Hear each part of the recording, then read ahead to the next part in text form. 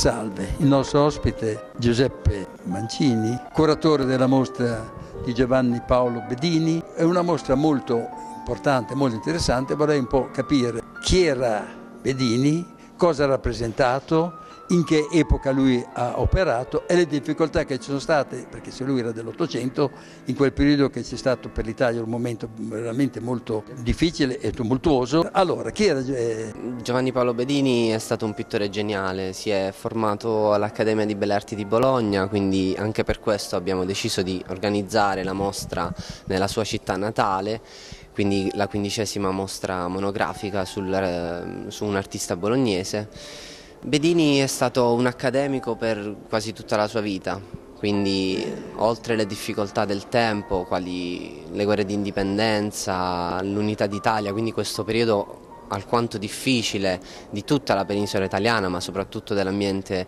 bolognese, ha saputo dimostrare tutta la sua forza, tutta la sua serenità, perché viene ricordato come un uomo gioviale, sereno, amabile e disponibile con tutti.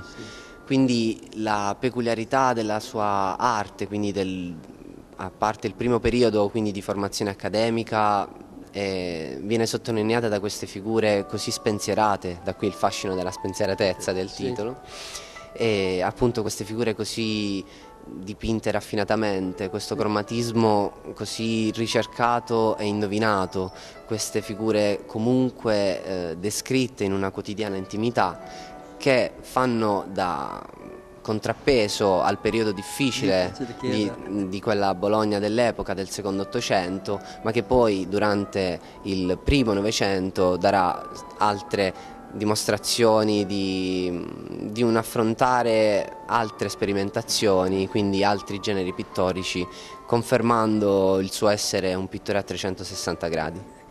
Ho notato che, come ti chiedevo anche prima, un, ci sono degli oli veramente interessanti e compro anche degli acquarelli.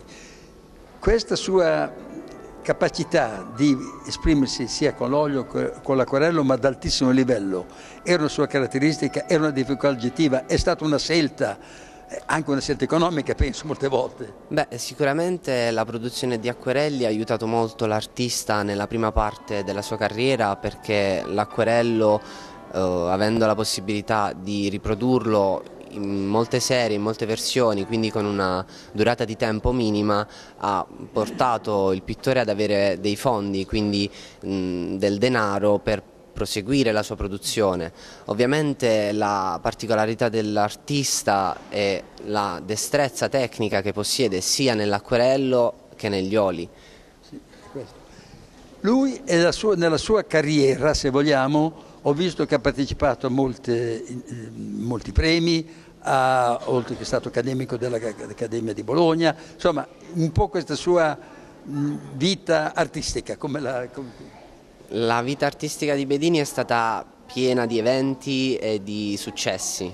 Innanzitutto all'Accademia dal 62 al 67, quindi appena iscrittosi, vince numerosi premi, da decorazione, figura, prospettiva nel 1865 diventa professore della stessa accademia successivamente, ma anche fonda la scuola eh, professionale per arti decorative di Bologna, eh, fonda l'associazione per le arti Francesco Francia eh, partecipa a numerose mostre, a numerosi eventi artistici quali eh, le esposizioni di Brera, le esposizioni dell'Associazione degli Artisti Italiani di Firenze, quindi un pittore che ha saputo emergere non solo nell'ambito locale ma anche nell'ambito fiorentino, milanese, quindi in tutta la penisola italiana.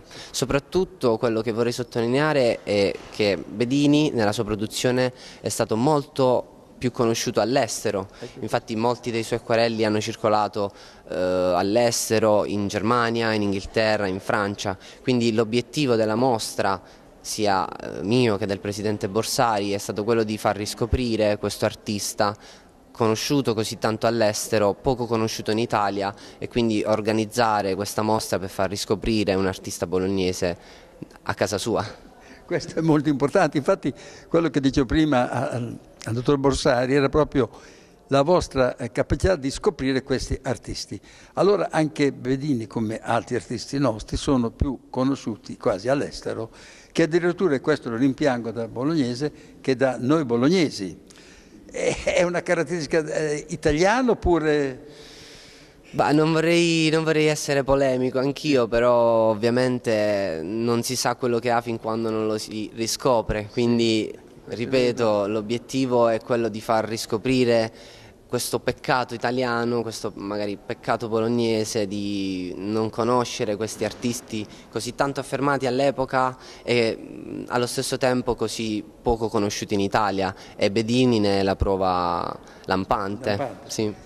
Ma questo è importante, è quello che indubbiamente io sottolineo tutte le volte che mi, che mi affascina, se mi passi il termine, che riuscite veramente a mettere in, in scena degli artisti che non solo sono un po' dimenticati, ma quando li vai a vedere noti, non riesci a capire il perché. Mm, mm. È, è, forse anche un difetto di comunicazione, penso. Può essere, sì, ma eh, innanzitutto io sottolineerei il, la difficoltà della ricerca, quindi noi abbiamo organizzato una mostra su un pittore la cui reperibilità non è, stato, non è stata così facile attuare, quindi eravamo partiti da un progetto, dicevano in molti non riuscirete a trovare più di 30-40 opere, come ha detto giustamente il Presidente, ma siamo arrivati a organizzare una mostra con, tanto, con tanta fatica, tanta passione e siamo arrivati ad avere più di 70 opere, non solo di Bedini ma sottolineerei sempre l'impegno dell'associazione di creare un percorso espositivo che coinvolge anche altri artisti da varie parti d'Italia, infatti abbiamo un Boldini che è un caposcuola molto importante, un Induno da, dalla Lombardia, ma anche un Muzioli da Modena, quindi l'ambiente quasi più vicino a Bedini, ma anche un Sorbi, quindi dalla Toscana. Abbiamo cercato di dare un quadro completo del secondo Ottocento, quindi per dare una differente interpretazione di altri artisti e creare questo connubio speciale sia tra, tra Bedini e gli altri artisti italiani.